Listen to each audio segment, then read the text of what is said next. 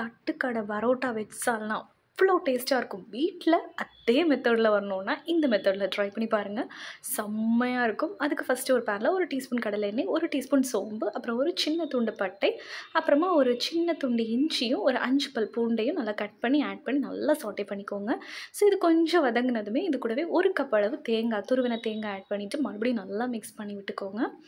So இந்த அளவுக்கு நல்லா ப்ரௌன் ஆனோடனே இதை ஒரு மிக்சி ஜாரில் ட்ரான்ஸ்ஃபர் பண்ணி அரைச்சி பேஸ்ட்டாக எடுத்து வச்சுக்கோங்க. இப்போ ஒரு குக்கரில் ஒரு டீஸ்பூன் கடலை எண்ணெய் அரை டீஸ்பூன் ஜீரகம் அப்புறம் ஒரு மூணு நாலு கிராம்பு ஆட் பண்ணிக்கோங்க.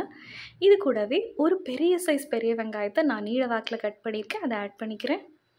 இப்போ இது கூடவே கொஞ்சோண்டு உப்பு ஆட் பண்ணி இதை வேக வச்சுக்கோங்க.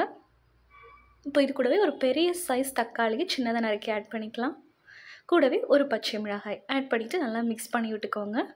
இந்த வெங்காயம் தக்காளி நல்லா வதங்கணும். கொஞ்சம் தண்ணி விட்டே வதக்கிக்கோங்க.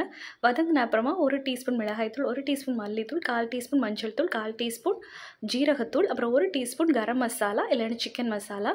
இது கூடவே ஒரு அரைக்கப்பளவு பட்டாணி நான் பாதி வேக வச்சு வச்சுருக்கேன். அதை ஆட் பண்ணிக்கிறேன். ஊற வச்சு பாதி வேக வச்சது. இது கூடவே ஒரு கேரட் அப்புறம் ஒரு பொட்டேட்டோ அப்புறம் ஒரு பத்து பீன்ஸ்.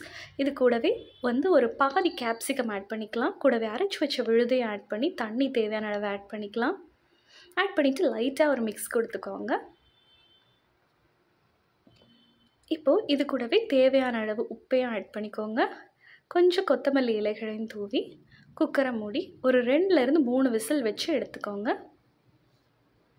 ஸோ எடுத்து மறுபடியும் ஸ்டவ் ஆன் பண்ணிவிட்டு கூடவே ஒரு அரை டீஸ்பூன் அளவுக்கு சிக்கன் மசாலா ஆட் பண்ணி மிக்ஸ் பண்ணிங்கன்னா ஒரு டேஸ்டியான தட்டுக்கடை வெஜ் பரோட்டா சால்னா ரெடி.